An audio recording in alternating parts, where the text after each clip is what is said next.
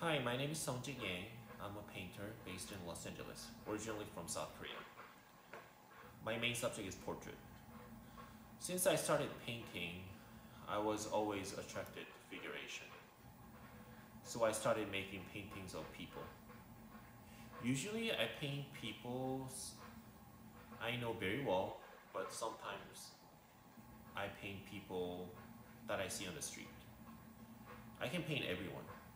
I don't think about race or any stand any types of standards when I choose people that I like to paint. I simply paint people who visually interest me.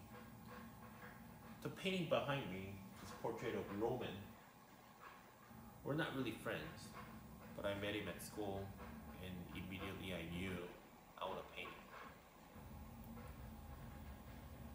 The title of this painting is Young Man in Striped Shirts.